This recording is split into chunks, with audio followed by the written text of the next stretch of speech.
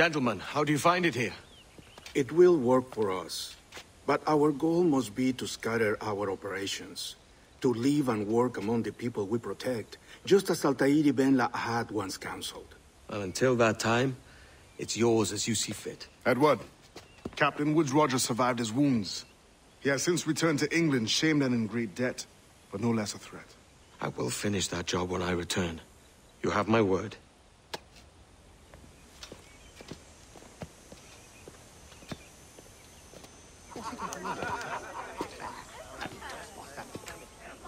Evening, Anne.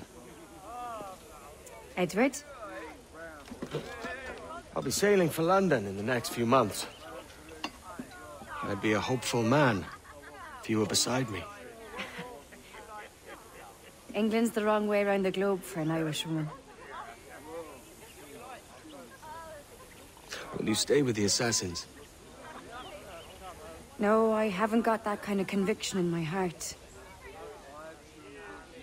You? In time, aye.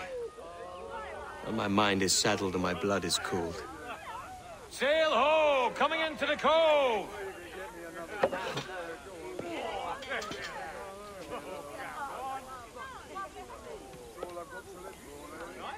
You're a good man, Edward.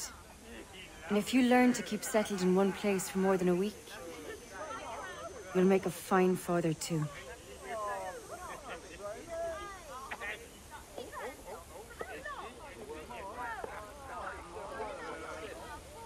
Of all the money that I had, I spent it in good come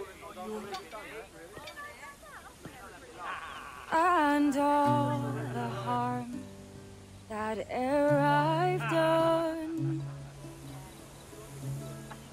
alas, it was to none but me. And all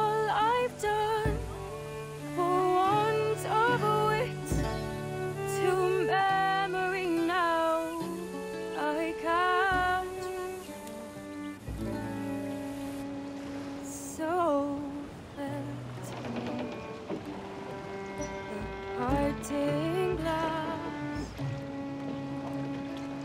Good night